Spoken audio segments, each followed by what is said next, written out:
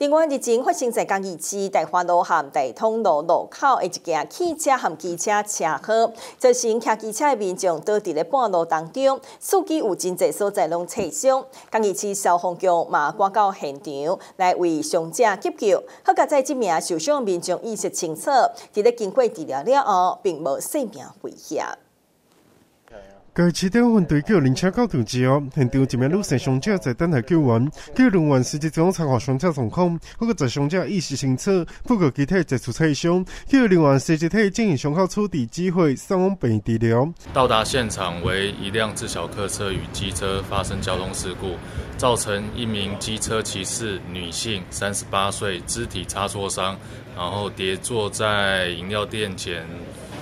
等救护车前来之前来处理。那救护的救护人员评估之后，发现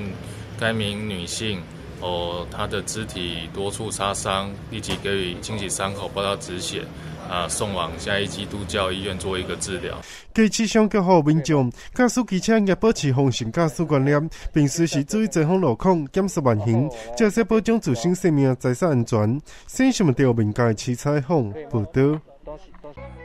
在家吃喝玩乐，探索世界，您准备好了吗？